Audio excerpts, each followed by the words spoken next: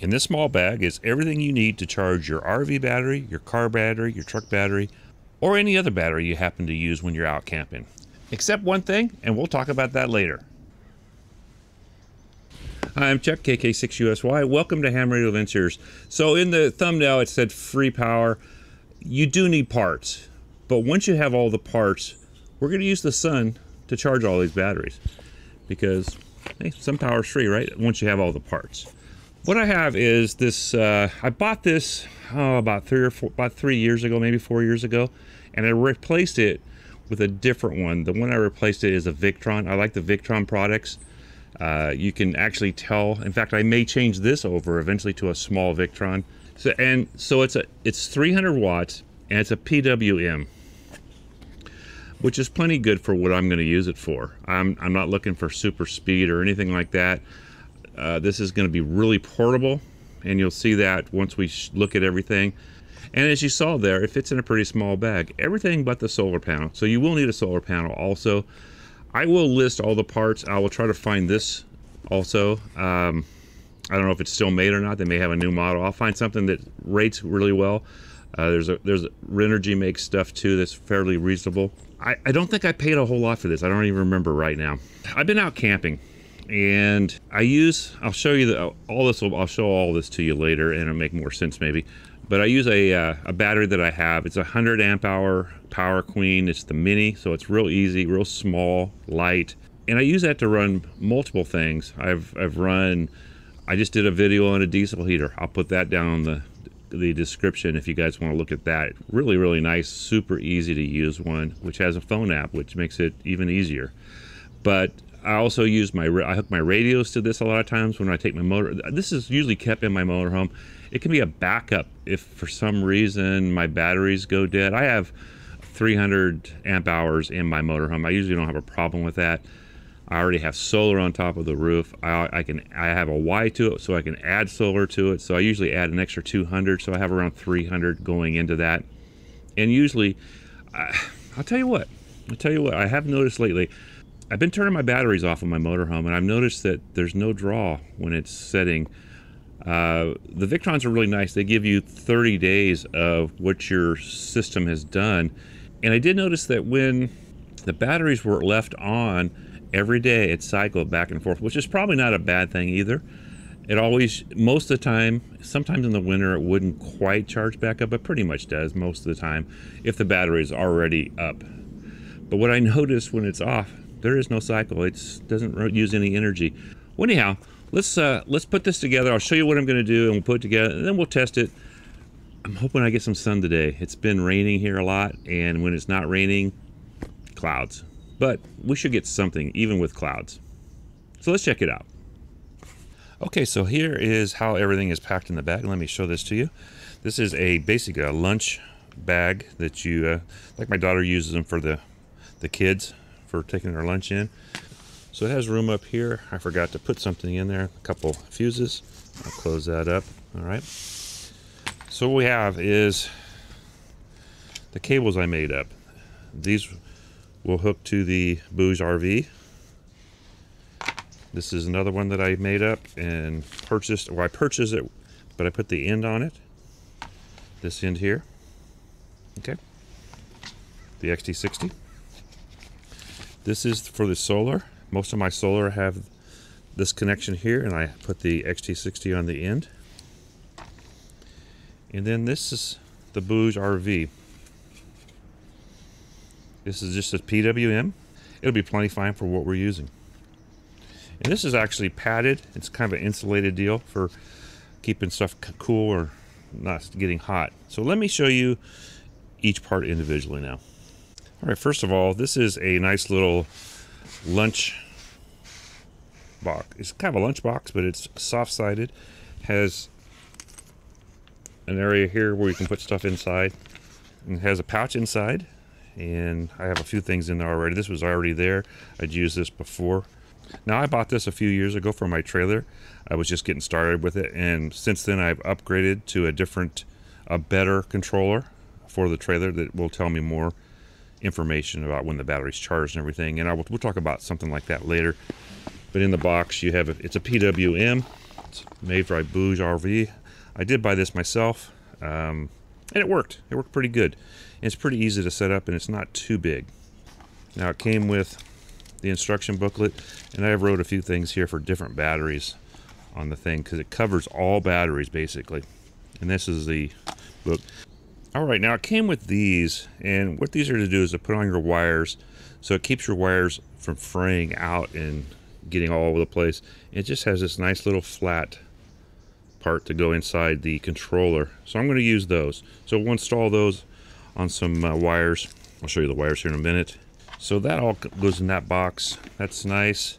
Now I bought, uh, I wanted to be able to hook this to my solar panels. I have more of these hookups than anything else, and then it, didn't come with anything on the other side, so I'll put some XT60s. I did tape everything up because I don't like them just flaying around everywhere.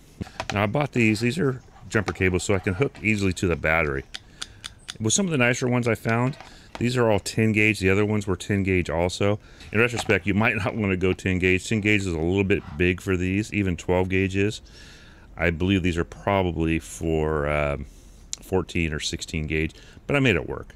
You, you can make it work still. You have to solder these, but these were already on. This one has a fuse, and uh, this works really good. What I'm going to do is I'm going to match everything up to XT60s, and, and I'll explain just in a second how I'm going to do that. Okay, I forgot to film before I put the wire. I was going to use like a six inch piece of wire, but I think these are about eight inches, just so it would give me a little more room. Now, if you'll notice, these plug into each other, but they don't, they won't plug into each other. They don't go together. I did them separately. These are what comes out, and I'll, I'll install them in just a minute and show you, but these come out of the controller. This way I can't hook it up backwards, as long as I get everything right. So let me hook it to the uh, controller and I'll show you how all this is going to work. All right, so I installed these. Be real careful, they're kind of hard to get in there. I did uh, a lot of heat shrink on here just to protect things. I think it made it a little bit harder to get it in. I may have to trim it off a little bit. As you can see, this has one fitting on it. This has the other fitting. So I can't, now that I have everything hooked up correctly, I can't hook it up backwards. So basically what you're going to do is this one's going to pull this up. This one's going to plug into here like that. And then this one's going to plug into here like that. So now I have everything hooked up, ready to go. All right, this is what kind of spurred me on doing this because I was out one time. I was using this battery for various things like radio work and stuff like that. Now I have it hooked up to where this is for a diesel heater. I just did a review on this diesel heater. If you guys haven't seen that, I'll link it in the description. Really, really nice diesel heater. If you're thinking about diesel heaters, this one was pretty cool. I've got power poles on it because we know that the ham community loves power poles. And then just to be good, just to cover most bases, I just have a, a really nice cigarette lighter plug. Okay and I got it taped up. I didn't have my regular black tape at the time, but I taped everything up. Not that it was to do anything anyhow, but so this is what spurred this on. I was out one time, I was using this, and I wanted to top the battery off just to make sure I was getting, you know, full power out and then I didn't run it all the way down. It lasts quite a while. On that diesel heater, this thing will probably last four or five days. Now I can just clip these on here. And when I, once I hook this solar controller up to something. If you look at this, maybe we can see this. I have everything hooked on here right now. But it's showing 13.4. I did for a second there. Now it's going through its cycle. 13.4 volts. So we'll hook all this up later and hook it to a... If we get some sun today, we've been in rain lately and not a whole lot of sun. But this will work really good. Now let's just see if we can get a solar panel in here and we'll hook it up and see uh, how it works.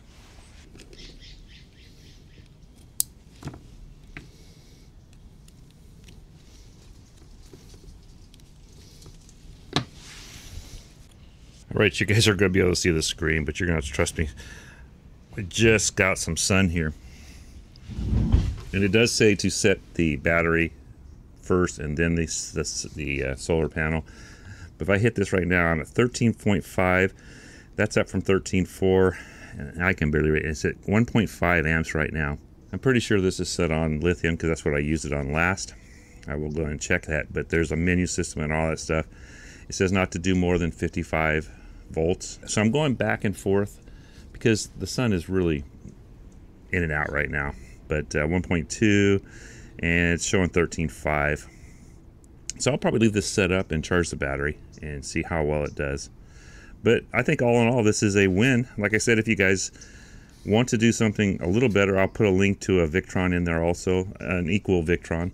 Then I'll find, try to find a couple other models that are at least a, a brand name, and I'll even put like a, a really cheap one in there for you guys if you really want to go, because you don't really need a whole lot here, and it's all going to be out and not mounted someplace. So if you have a problem, it's really not going to cause a big problem. I am running a 100 watt solar panel.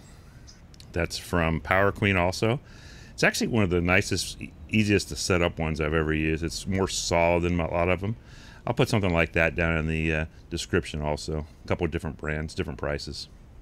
So I think this is going to be a really good setup for when I go camping. Even in my box trailer, I have I have multiple batteries that I take with me a lot of times. I have 200 200 amp hours in there, and there's not a whole lot in that that needs it. But I don't always want to run everything off my trailer batteries. I use the batteries in the trailer for my lights, my heat, and whatever else I might want to do.